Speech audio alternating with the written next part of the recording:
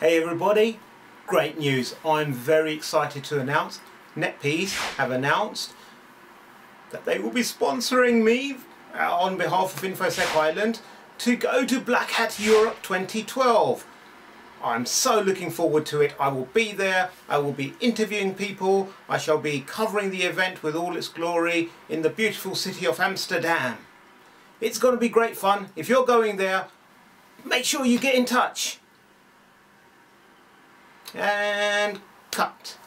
Oh, that was good, wasn't it? Can't believe I'm getting paid to go to Amsterdam. I mean, like, you know. Videos, man. I mean, like, oh, the amount of things you can put on expenses over there is just amazing. Yeah,